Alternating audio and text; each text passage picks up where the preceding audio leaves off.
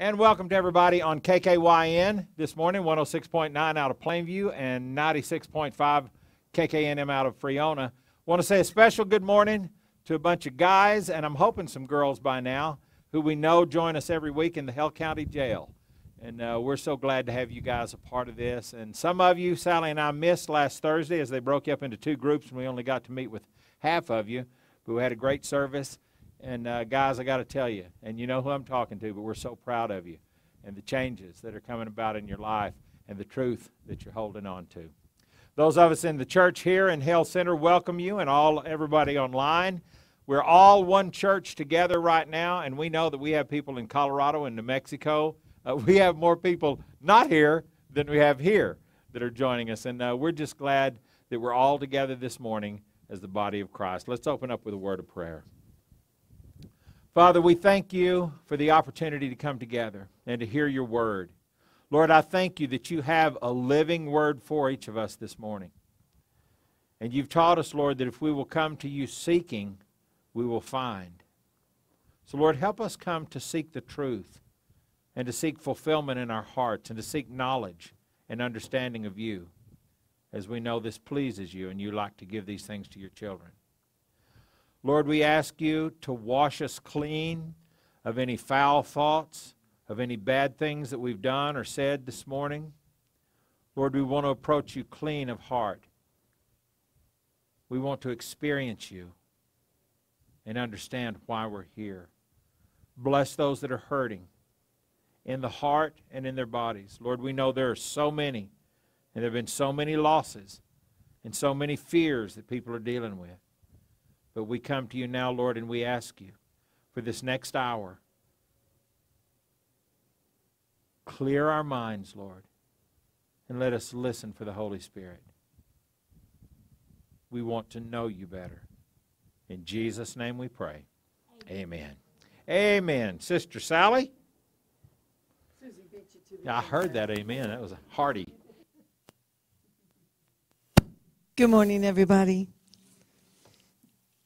This has been such a beautiful day, and it's not as windy as it was yesterday. Was that not unbelievable yesterday? Whew, very windy. But we, I want to welcome everybody to Jerusalem Community Baptist Church. For those that are on their way, uh, we are on the corner of Avenue A and East 6th Street here in Hale Center.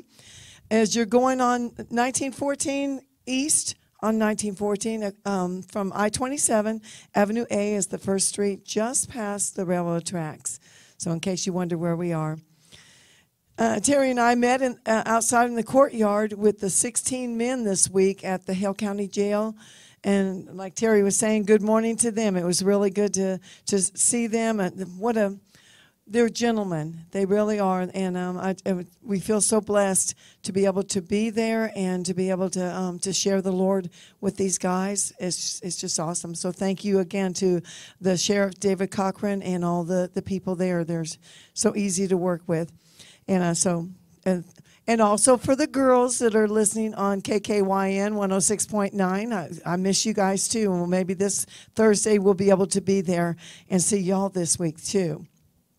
Please join us tonight at 6 o'clock for Bible study. We're in the second chapter of 2 Samuel.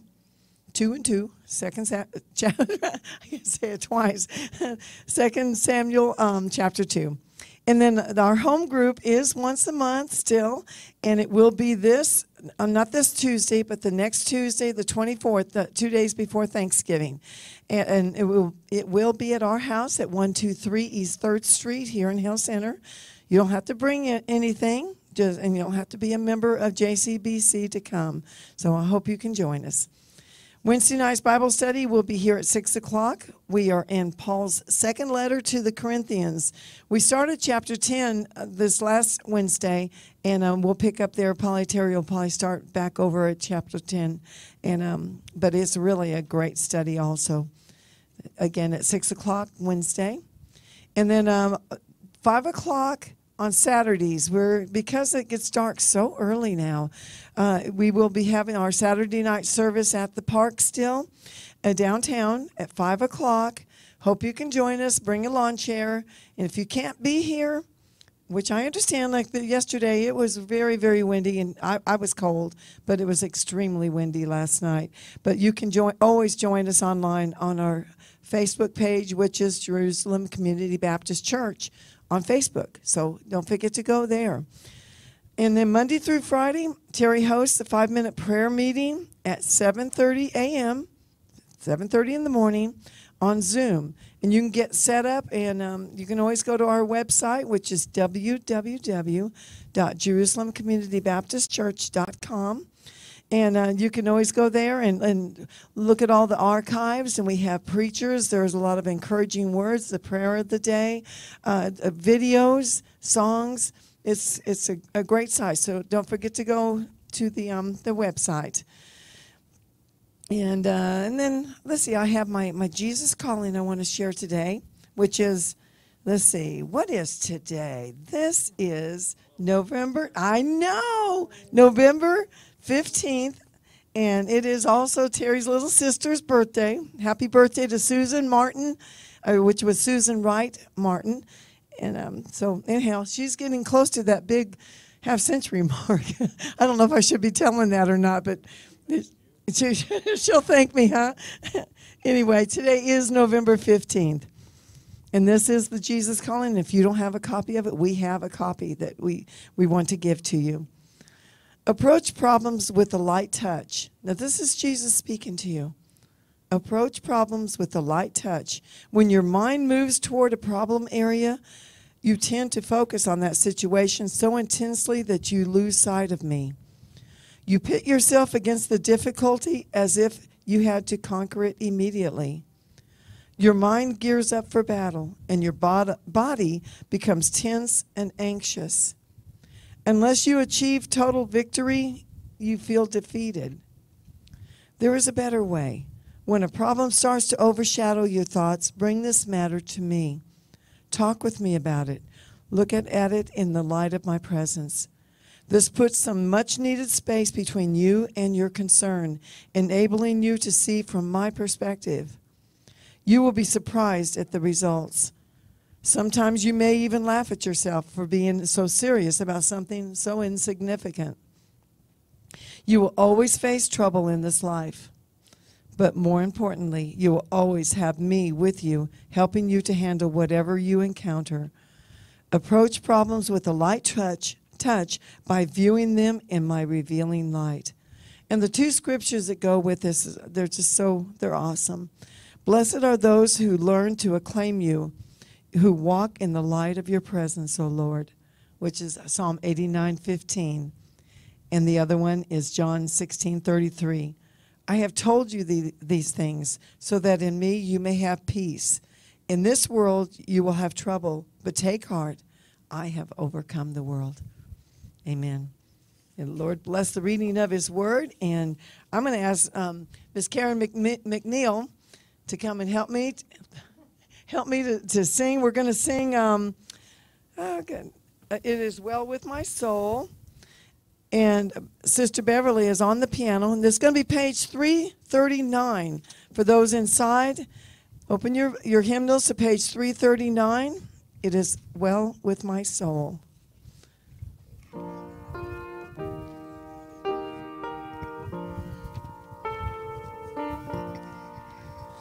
When peace like a river attendeth my way, when sorrows like sea billows roll, whatever my lot, thou hast taught me to say, It is well, it is well with my soul. It is well. It is well with my soul. With my soul. It is well. It is well with my soul. Verse 4.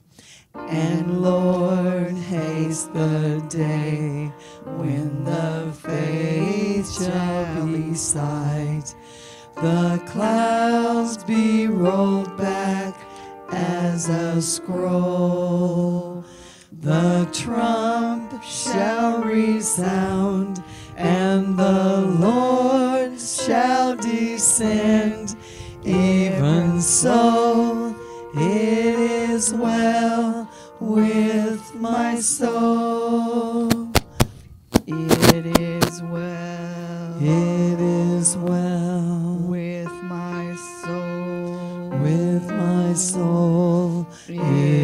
Is well, it is well with my soul. Amen. Amen. Terry's trying to fix the door. The wind was supposed to only come, what, four miles an hour this morning. And, and they changed their mind. That's okay. We can deal with it, right? Yes, we can. I'm sorry about the static. That's me running around here. Okay, I'll You can take that. this and you can turn that monitor down a little if you want. Thank you, honey. Let me grab my Bible.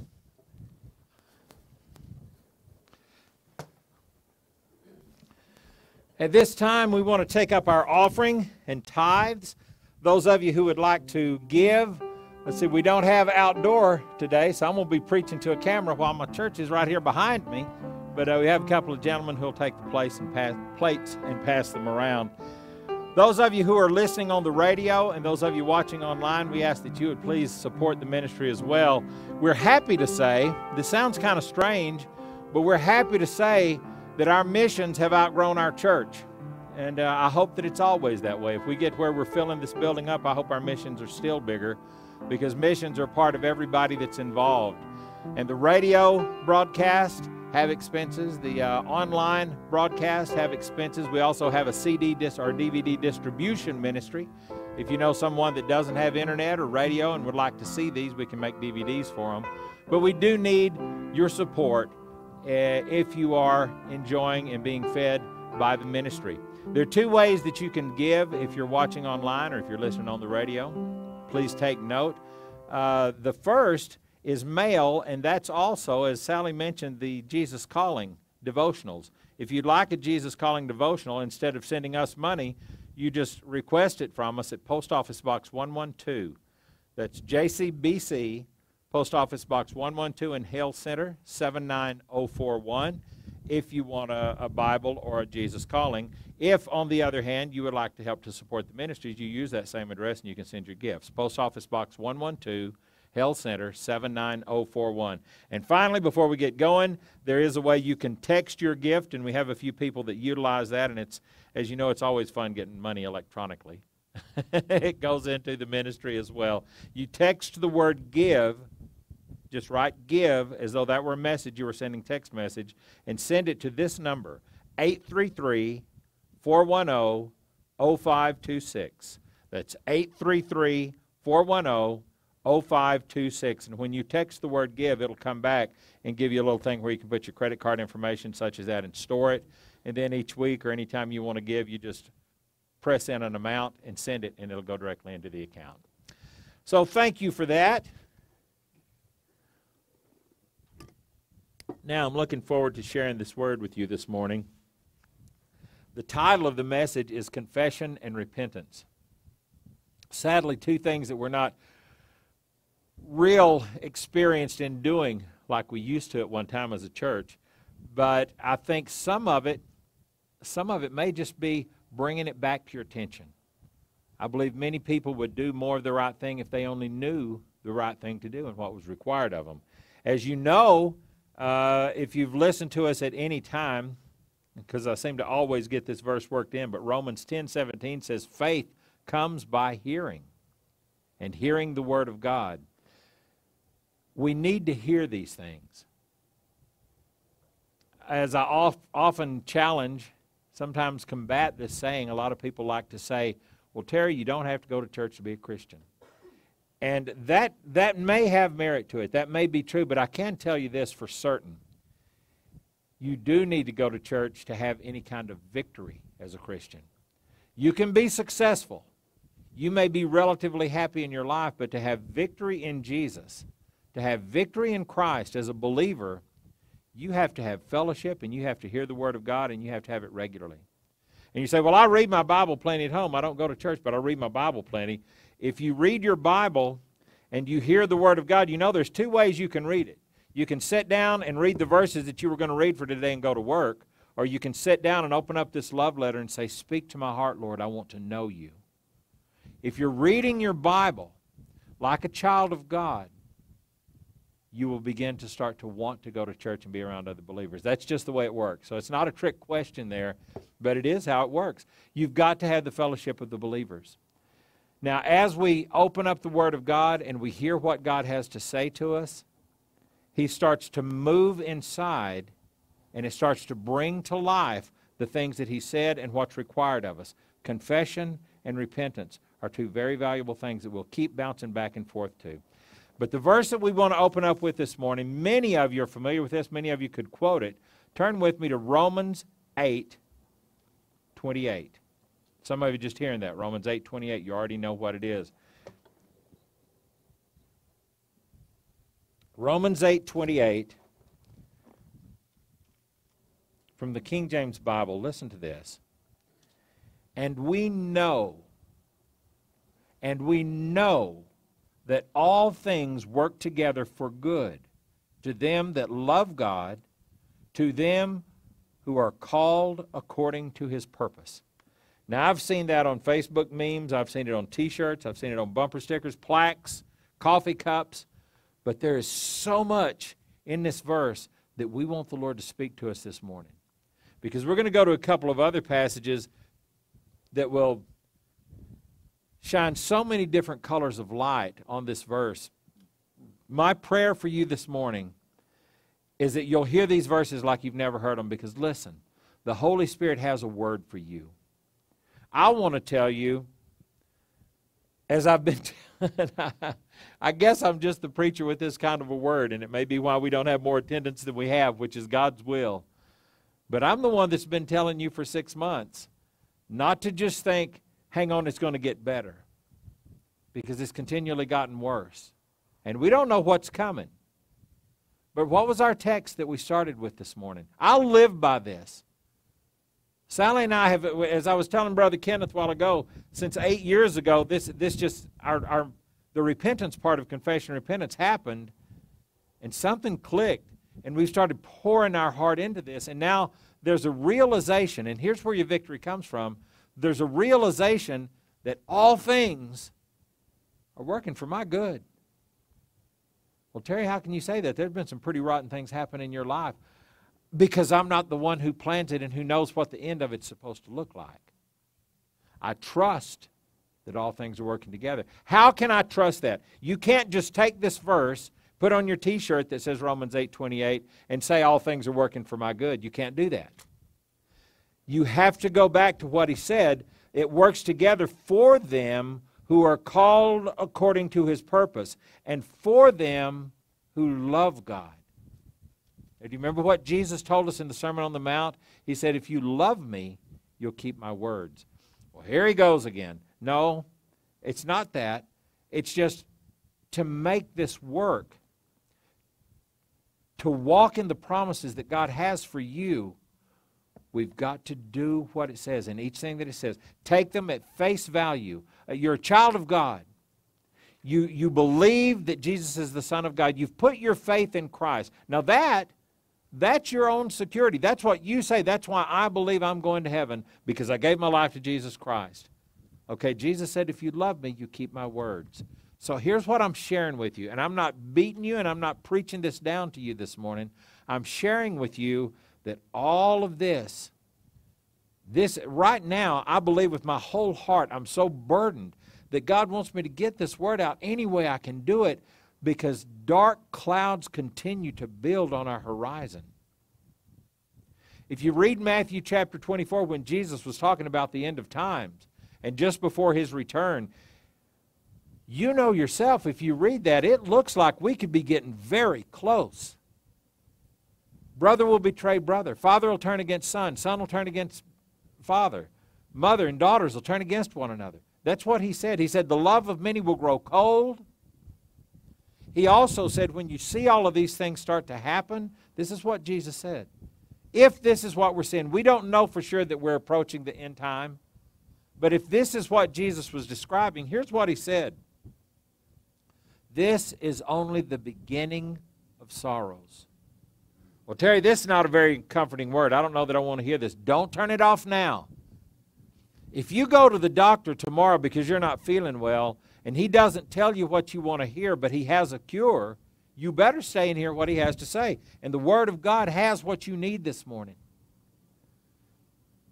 You know, I'm going to go on and speak frankly about something that, that I, I hear danced around all of the time, and it's, it's, it's not out very often. But we just had this election that we've been, many of us have been watching with white knuckles for a long time. And it's the most polarized our nation has ever been. One side pitted directly against another, in one nation under God indivisible. That's thrown out the window. But we just had the election.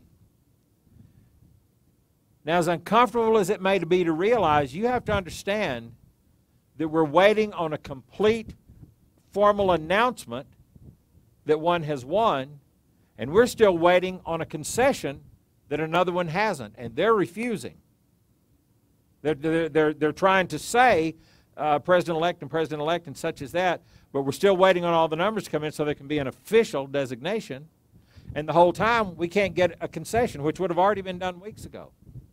What's going on? There are a lot of things going on. And if you're Republican, you're just waiting to see Trump fight and get back in. If you're a Democrat, you're saying, what's wrong with the crazy Republicans? Why can't they see that they've lost? And we're still, listen, what I want you to, what I want you to hear, and it's what, something that we touched on last night in the park. If you're listening right now and you're seeking to know that God is working all things out for your good, this is a mindset that you're just going to have to come to, and I want to respectively share this with you. You got to take that Republican that Democrat status of yours, and it's got to get way down below your status of being a child of God. This is a Christian thing. We are called, we are called to a much higher calling. We are God's people. We are the people of God all the way back to Abraham. When God found him a people, it was through Abraham and then Isaac and then through Jacob he had the Jewish people. Abraham even includes a lot of the, the a lot of the Middle Easterners, a lot of the Arabs. God's people through Abraham's covenant. But then through Jacob, it, God chose his people through Jacob, whom he named Israel. We weren't no part of that. We're Gentiles. But God always had that people, and he taught us and he taught them way back then listen, how to be his people if we can come to an understanding, listen, that I say this a lot, but I want you to hear it in your heart. I'm a child of God, the Creator. I'm, I am a child of Almighty God. Don't just say that flippantly. It means I'm not afraid. I'm a child of God. The very one that spoke everything into being, listen, He watches over me. And I know He does. You know why? Because I love Him and I'm called according to his purpose. And if you can get your heart wrapped around that and hear these two words, confession and repentance, you can start to walk in that same comfort. If this all gets overthrown and Donald Trump is the president again for four years, I'm going to find my peace in knowing that God knows what he's doing. If this turns into a concession and, Don, and, and Joe Biden becomes the president of the United States, I'm going to trust that God has got a plan and I'm going to walk in it. I'm going to submit either way. I'm told to in Romans chapter 13, verse 1, read that. It talks about the governing powers. We don't have the right to talk bad about who's in office. And this goes sideways with a lot of people. And I understand that. And I'm asking you, don't, don't turn it off right now. Just please hear me out. Bigger than the President of the United States has ever been. Bigger than the king of Egypt was. Remember that? Is God Almighty who created all things. We've got to come back and be under Him. We are the children of Almighty God. As I said last night, we're, the, we're not the tail on a political dog just being wagged anywhere. We are the children of God. We're going to be here, beloved, when all of this is smoke and cinder and we're going to be in the we're going to be reigning with Jesus Christ. But the only way you're going to make it through tomorrow and get to the end of the day with any amount of peace in your heart is to start to grasp what I'm telling you and letting go of the things that are temporary. It's the only way. Turn with me now to a very familiar passage through the elections and such. Second Chronicles. Way back in your Old Testament, you got First and Second Samuel, First and Second Kings, and then First and Second Chronicles. There. So this is the last of those six, basically like the the Gospels to me in a lot of ways because they give three different accounts in two books each of the same type of situations in history. Second Chronicles seven fourteen. I'm in the wind trying to do this, so you should have time to find it on yours.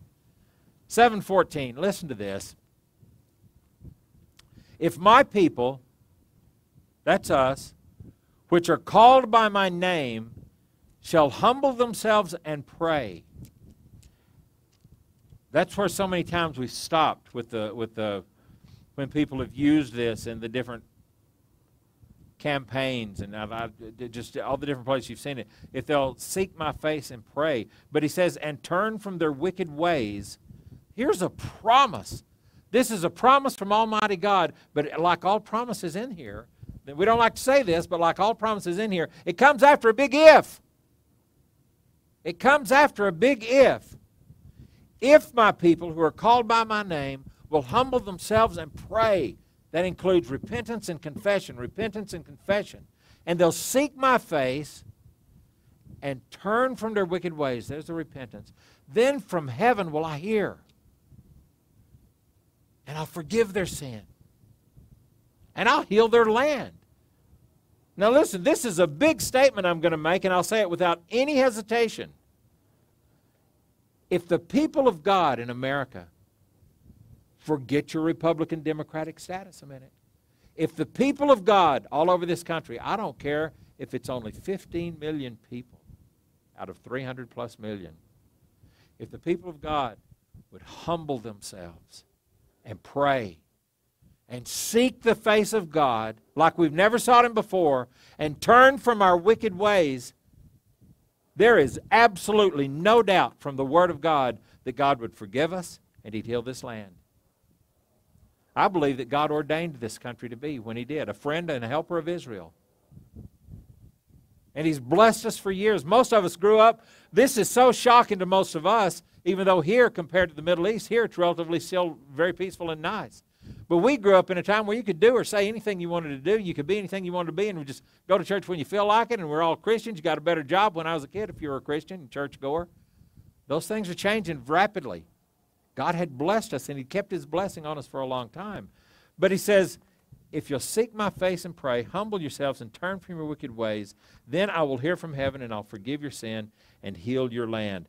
Now, what I want you to know, if you read that whole chapter, let me give you a little synopsis of what happened because this is, a, I think this is one of my favorite stories in the Bible. Solomon had, that's King David's son, Solomon had just finished building the first mighty temple that was ever made. You've heard of the temple of God and the holy place and the holy of holies, and, and you, you've heard of all the sacrifices that were made and how the priests would go in and they would slaughter all these animals and the blood was spilled, and that's what brought the, re- the remission of sins for the people. And see, listen, as we go through this, when Jesus died on the cross, that blood covered all of your sin. That's how it works. That's how you get saved. That blood covered all of your sin, but it covers it to take it away from your conscience and to take it away from your guilt. And you still have to confess that sin. You need to confess that sin every day. 1 John 1 9, if we confess our sin, then he's faithful and just to forgive us our sin. 1 John 1 9. But you have to confess it. Well, back then, they didn't have Jesus who did that. Now, Jesus' blood is always good because you see, if, if I the door pops loose from my bungee cord because the wind takes a big like it's trying to do, and it pops over and hits me on the elbow and hits my funny bone, and I think a bad thought. The blood has already forgiven me, and all I have to all I have to still have to do is I say, Lord, I'm sorry. Help me not to do that anymore. Help me to get my thoughts under control. Forgive me. And it's forgiven just like that. Before that, before Jesus came, they had to keep cutting these animals up and spilling the blood. And each time they would sin, there had to be a remission made for their sins. Well, they come up and they built this big, beautiful temple, and it's finished now. It was one of the greatest wonders on earth. And the Bible said, tells us all through chapter 6 of Second Chronicles here how Samuel, uh, Solomon prayed, and he prayed this beautiful prayer, listen, about the temple. But do you know? Have you read your New Testament? Do you know the Word of God? What is the temple today? The temple is God's people. We are where the Holy Spirit abides. When we get together, there's just enough people, maybe 15, 16 people in this church. There's enough of us if we were all walking in the knowledge and in the faith that we're filled with the Holy Spirit of God, there'd be enough power and enough righteousness cons- pulled together in this building to influence the whole county, if not the state of Texas. Where two or more are gathered in my name, we don't even know what that means. But we're learning it. We're learning it. They built this temple, and when he would refer to it in his prayers, he said, Lord God. Now he's talking about the temple, but I want you to think of us today in America. Think of yourself right where you're sitting. You're a Christian. Your friends know you're a Christian. You're a child of God. Hopefully, you're here in our church. Maybe you're watching online and you would be at church, but you couldn't be somewhere today. When he's praying this prayer, he's praying about the temple with stones and bricks and mortar. But today, he's talking about us. And he says, Lord, if your people are out and they're in battle and they're getting beat and they realize that they need your help, let them look toward this temple and believe and hear them from heaven and send them help. And that was going to happen. He says, if someone sins and they fall out of grace with you, let them look toward that temple and believe, and you'll hear them and forgive their sin. That's what he was saying all through this prayer. He's praying that to God. Today, that's what we're supposed to be. We're supposed to be to where if somebody's lost, their life's falling apart, they look at you and they say, I need to talk to her. I need to talk to her. She's got her life. She, she's a child of God. Not just she's a Christian, she goes to church. I know that she's a woman of God. I need to talk to her. I need her to pray for me. That's we're the temple of God now. And that's what he was praying. And he prays this prayer and he goes through all these different scenarios. If your children are out in battle and they're fighting one of these wars, Lord, and the, and the enemy starts to overcome them, let them look toward this temple. Just look in the direction of this temple. That's the faith they had. Just like Jesus told Nicodemus, I must be lifted up as Moses held up the serpent in the wilderness. They just looked at that serpent on a pole and believed and they were healed. You just look in the direction of the temple and God will hear. And, and, and your faith is in that, that God is there and He's going to forgive you, and He does. That's us. That's the children of God today. Not for us to be worried, for us to be the temple so others can look to us and find encouragement. And then He gets to the end of the prayer and he's been praying this awesome prayer about this new temple. And here's what happened on Pentecost to the children of God when this new temple was ordained. The, the first temple, he just finished the prayer, and it's so much like second chapter of Acts Pentecost. You familiar? You remember that? It's when the children of Israel, or not just the children of Israel, the new believers in Jesus Christ, Jesus had arisen from the dead. It, it, showed himself to them. They all saw that he was alive, and he ascends into heaven. He says, You go to Jerusalem and wait. Go to Jerusalem and wait. I've got you. You're my temple. Jesus says, You're my temple. I've got you all built. You're set together. Now you go sit at Jerusalem and you wait. Wait until the Father sends his promise. Well, they just finished the temple, and boy, Solomon prayed his prayer, and he prayed to Almighty God. And it says in chapter 7, verse 1 Now, when Solomon, listened carefully to this, child of God, because this is what happened in second chapter of Acts, and it happens to you this morning if you'll let it. Now, when Solomon had made an end of praying, the fire came down from heaven and consumed the burnt offering and the sacrifices, and the glory of the Lord filled the house. And the priest could not enter into the house of the Lord because the glory of the Lord had filled the house. And when all the children of Israel saw how the fire came down and the glory of the Lord upon the house, they bowed themselves with their faces to the ground upon the pavement, and they worshiped and praised the Lord saying, He is good. His mercy endures forever. Amen. Now think of that just a minute. I dare say that if we were standing here today and fire fell down from heaven and started consuming things right in front of us, and we knew that it was the power of God, we'd fall on our face and we'd worship, but would we be saying God is good? Or would we be saying, please don't destroy me? Oh, God, I'm unholy. Why did they say God is good? How could they, how could they, how could they not be terrified at their own state? Simple. Because the fire had just consumed their sin offerings that was all over the altar. And they knew it. Many of them had led their sheep in. They'd taken their bulls, and, and they were all slaughtered, and God had just accepted their offering. And when they saw the presence of God come down and the glory filled that temple, it wasn't even a fearful thing so much as they were overwhelmed at how good God is. Have you experienced the fire of Jesus' life coming down and consuming your offering? Have you made an offering to Him?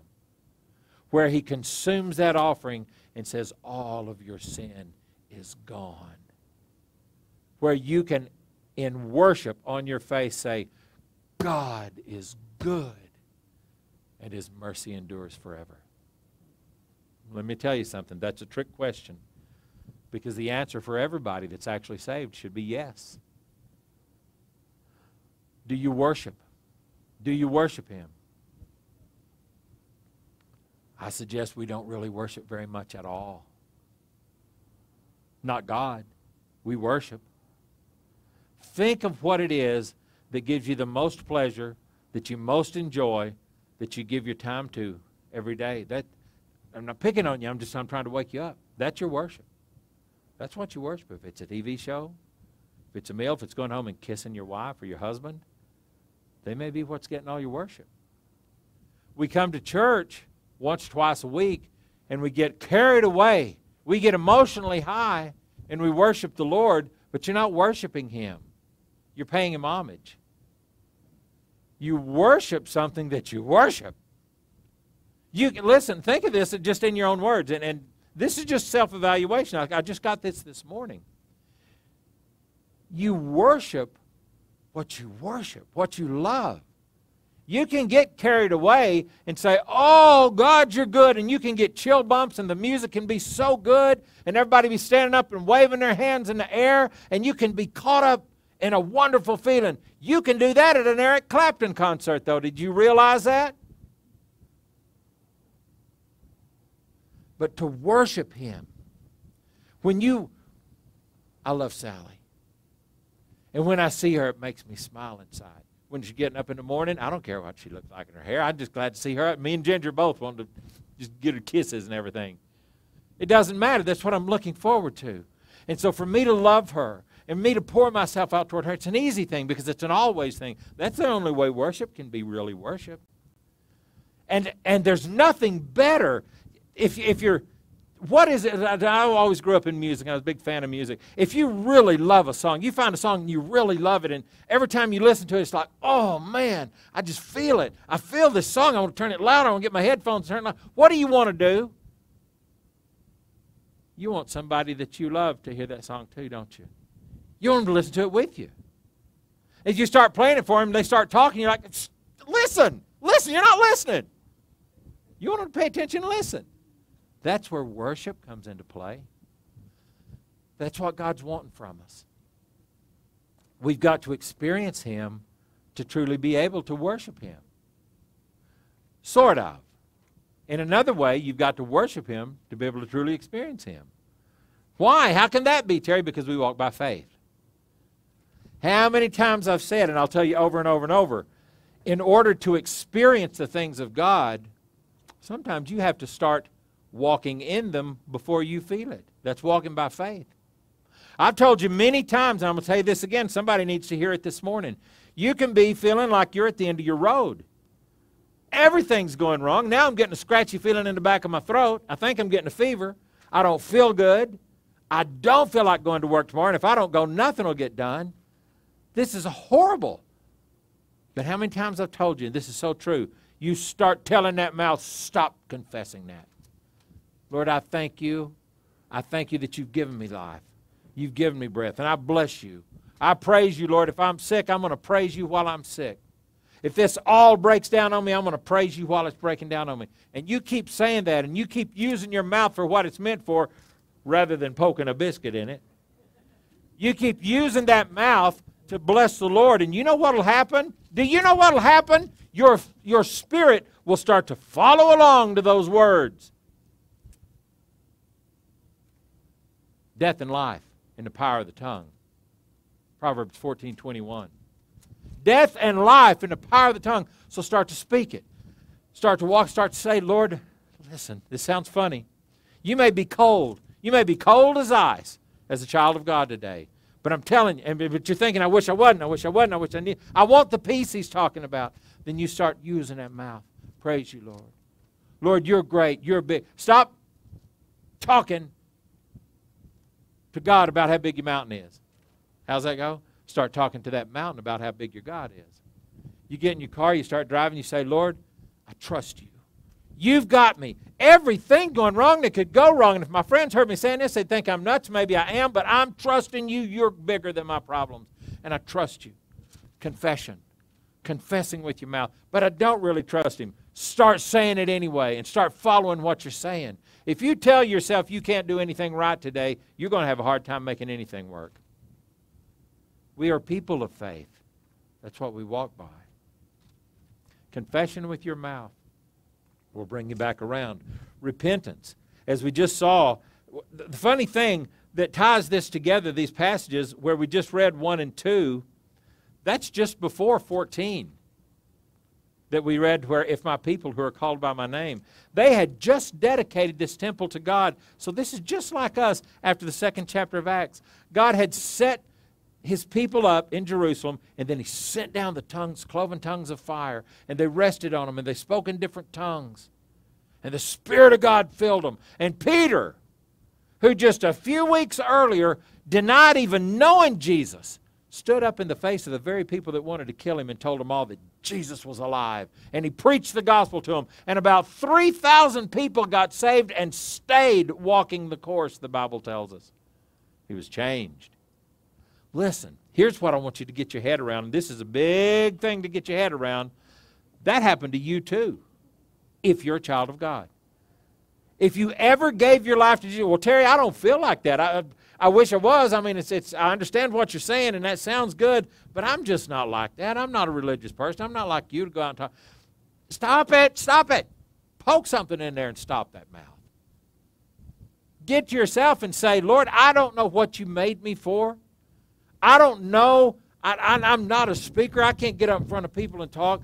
But I know you put your Holy Spirit in me. The Bible says you did. And I know I spend too many hours of my day worrying. And I spend too many hours fearing. And I don't spend enough time praying. So, Lord, I'm asking you, turn me around.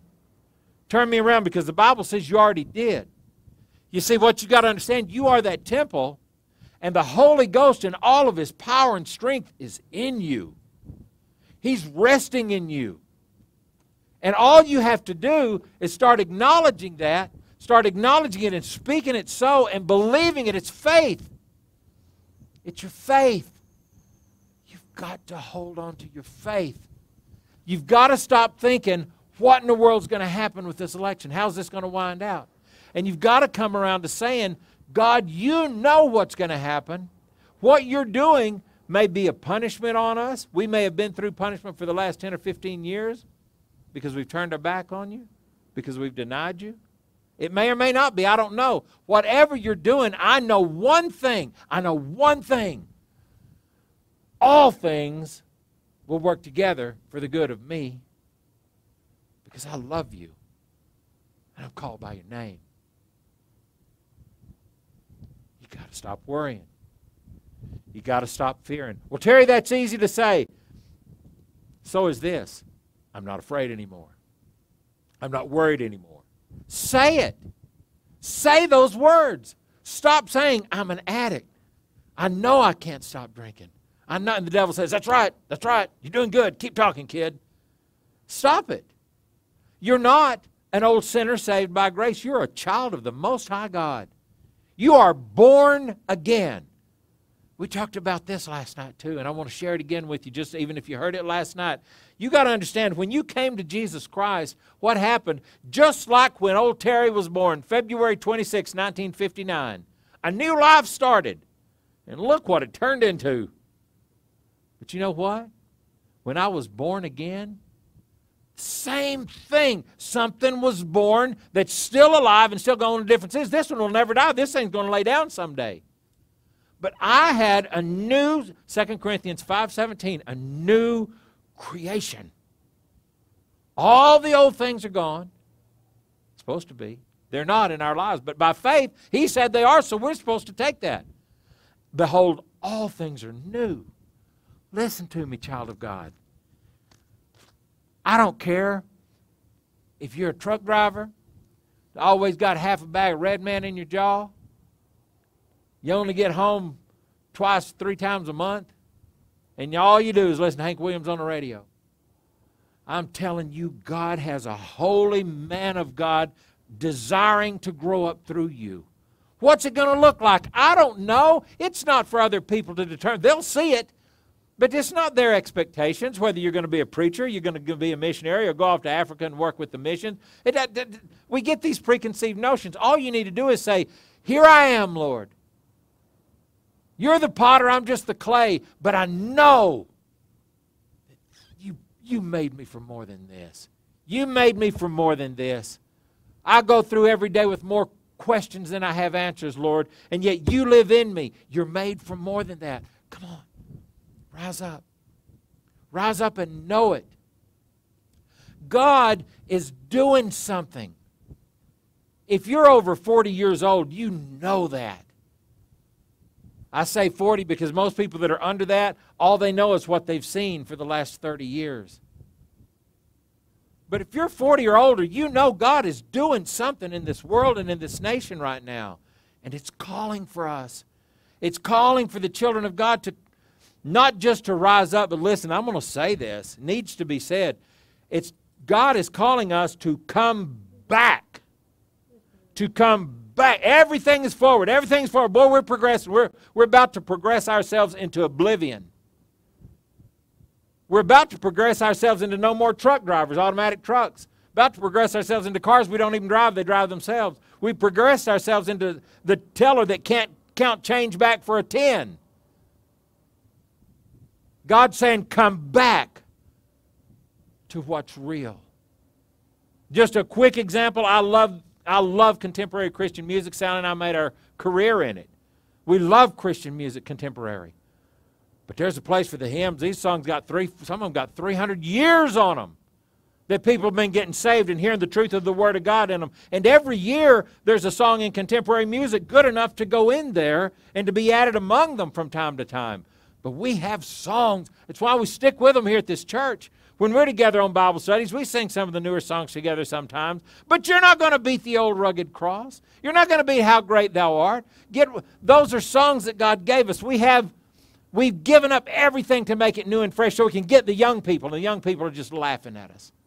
They want to see something real, and they're looking everywhere for it.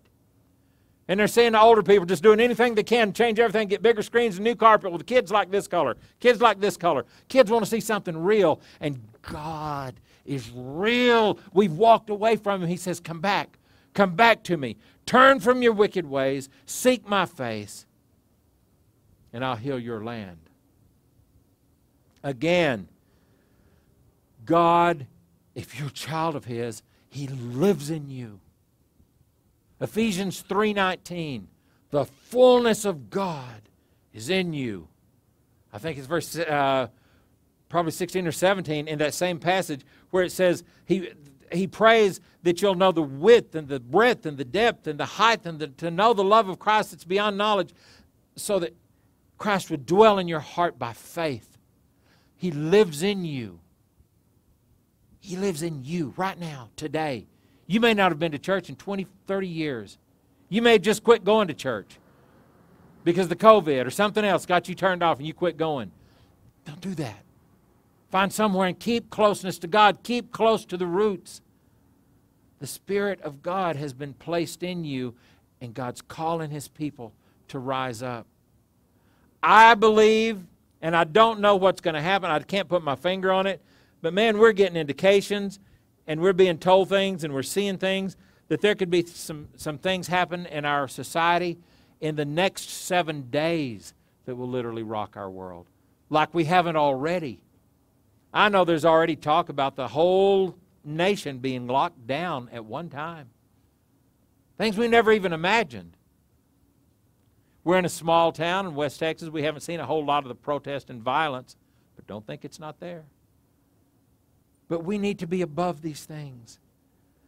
And I'm pleading with you this morning, wherever you are, if you're sitting in jail, if you're in a nursing home, if you're in a Stripes convenience store working with the radio on, God is calling you. But listen, please hear this. It's not an automatic thing. Seek my face. Humble yourself. Seek my face and pray. Don't be afraid, too proud. Get on your knees. Go home and get down on your knees before God. Humble yourself before God, and He will exalt you. Start realizing. Listen, if you want to get into heaven, 1 Corinthians 15 50 says, if you want to get into heaven, you've got to understand you cannot take this flesh and blood in. It won't go there. It's not going to get in, only the Spirit. So, unless God is living in you, you're not going. Now, if God's living in you, how are you going to go to that movie? How are you going to go to that R rated movie and sit there and watch it with somebody? God's in you. I'm certain I'm certain of most of these things that if Jesus were standing beside you, close enough you could feel his breath, you wouldn't tell that joke you're about to tell. I feel certain in my heart that you wouldn't go home and watch that one TV show you watch every week with all the filth and sex in it if you knew Jesus were sitting at your table with you. We've got to start. See, We've got to change our mindset. That's repenting. That's repentance. We, we've, that's become a bad word. People don't want to hear that. Anything in our society that doesn't make me feel better about me, I don't want none of it. I don't want to hear it. But we have to. We have to. We're the children of God. We've got to stop living by this outer thing and start living by the inner thing because that's what's going to live forever. 1 Corinthians 4.18, 2 Corinthians 4.18 while now we focus on the things that aren't seen. Because the things that are seen are temporal, but the things that are unseen are eternal. We have to shift our thinking, we have to shift our focus. This coming week, we don't know what's happening.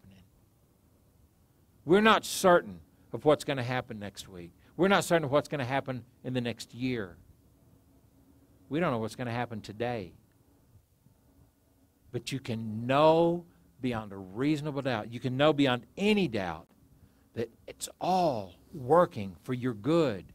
If you love Him, don't say you love Him if you don't obey Him. John said that doesn't work. He says you're a liar. First John. But obey Him and start to speak. Start to speak with your mouth. Take your husbands and wives.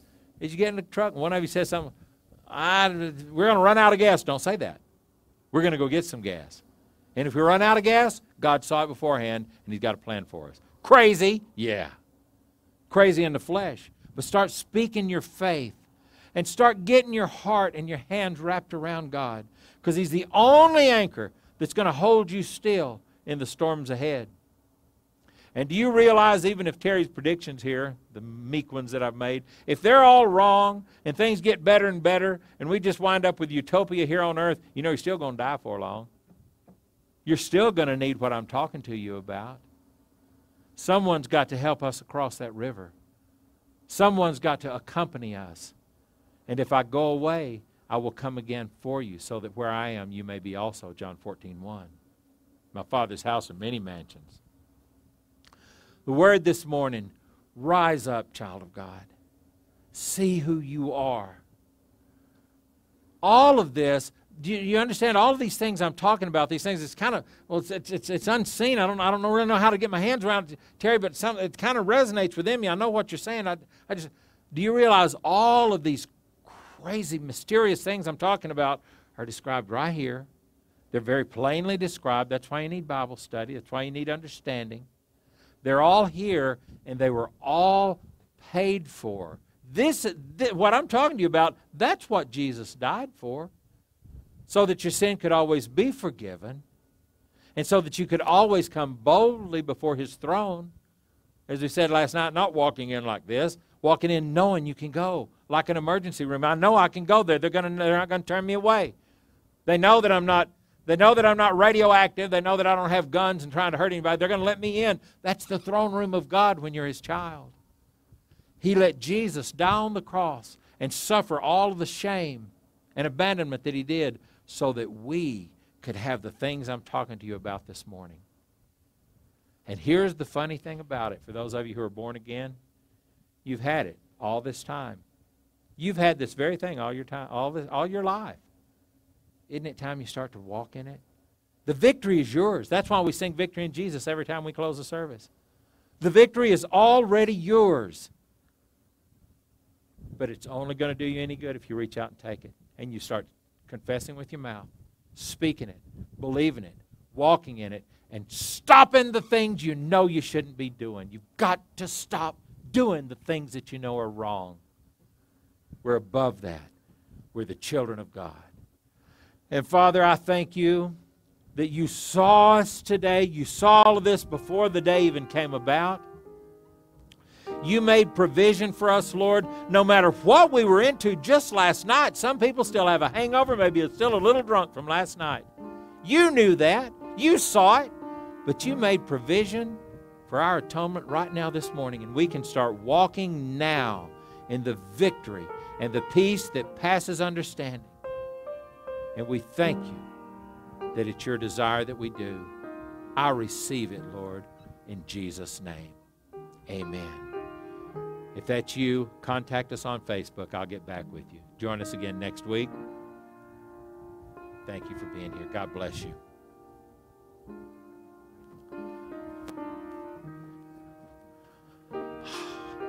Praise the Lord.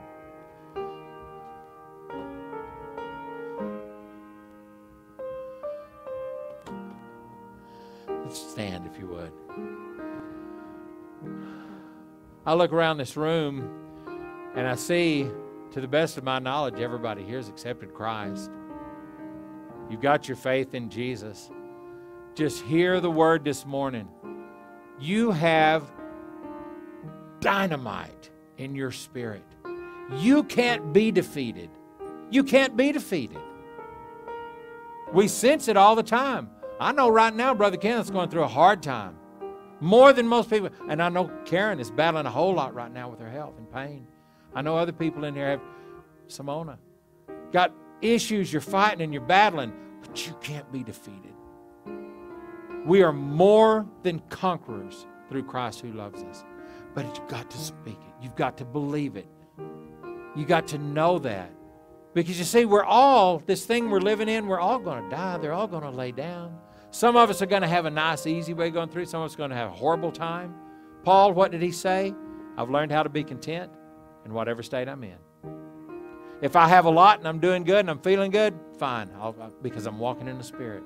If it's all falling down on me and they've got me chained up in another dungeon, which was in most of the short epistles, that's fine too. That's fine too because I know where I'm going. Guys, I'm telling you, when that's you, that's already you. And when you get your heart and your mind wrapped around that and your faith won't let you turn loose of it again, listen, you can't be defeated. You'll be saying, old Pentecostal song, cannot be defeated and I will not quit. I like that. But it all comes with your faith. So reach out and take hold of it this morning. Is there anybody that needs to make a confession, needs to make a profession of faith, anything that you want to do before we close? All right. Bible study starts at 6. I hope that you'll come back for that. This has been really good. We're in uh, 2 Samuel, as Sally was saying, 2 Samuel, 2 Samuel chapter 2. So uh, hope that you'll join us for that and whatever else the Lord puts on our hearts. Let's close with a word of prayer. Father, we thank you for the gift Lord, if we lived to be a million years old and we sought you every day and we spent hours on our face and in your word, we could still never even uncover the magnitude of this gift. For your holy, sinless Son to hang on a cross, shamed in front of the world, and take all our sin. Lord, it's not just so we can come to church now and then be a Christian. You bought things for us that are mystery, and we want to know them. Lord, we want to walk in them. I want to get there someday and know that I have experienced everything Jesus died for me to experience. And I want to hear, well done. And Lord, you know the passion in my heart is that everyone in the sound of my voice have that same hunger and that same desire. Prepare us, Lord, for the coming days, the coming weeks, the coming months. Help us to hold our tongue, Lord, against things that aren't fruitful. Help us remember, Lord, that even those on the other side of political parties that we disagree with, they lay down at night in bed and they worry and their hearts break. Whether their president is being elected or not. Lord, we're all people. And we are your temple that they're to look at and see life. Help them to never see hatred or bitterness coming out of our eyes. We humble ourselves and submit ourselves to you. And Holy Spirit, we ask you, just pray this prayer with me in your heart, y'all. Holy Spirit, we ask you to make us so aware of your presence. Lord, help us to see others around us as Jesus did, to not see what they're saying or what they're doing or how they're coming against me, but to see their heart and to break for them and to be a temple so that they can look to me and see that there is a living God that loves them. And Lord, we worship you. We worship you. You are good, and your mercy is everlasting. Lord, how many years, how many decades did I walk in sin, embarrassing your name, saying things that I shouldn't say, watching things I shouldn't watch, doing things I shouldn't do, and you still loved me and you held your hand out to me. I thank you for your patience that never ends. We worship you, Lord, and we bless you. I ask you to awaken us all. Open our hearts and open our eyes. Wake us up, Lord, to realize how much you love us and how much you have prepared, waiting for us to just reach out by faith and take right now.